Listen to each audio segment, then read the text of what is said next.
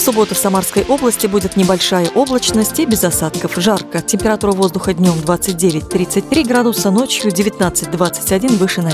Ветер преимущественно юго-восточного направления 3-5 метров в секунду. В Сызрани небо в облаках, но без осадков. Днем плюс 32 градуса, ночью плюс 20. Юго-восточный ветер 5 метров в секунду. Тольятти безоблачно, днем плюс 29, ночью 21 градус выше 0. Ветер юго-восточного направления 2 метра в секунду.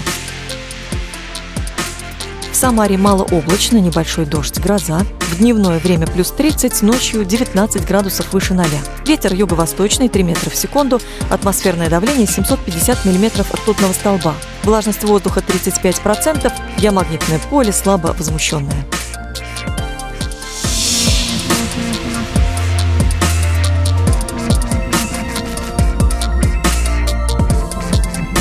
Прогноз погоды предоставлен погодным порталом kismeteo.ru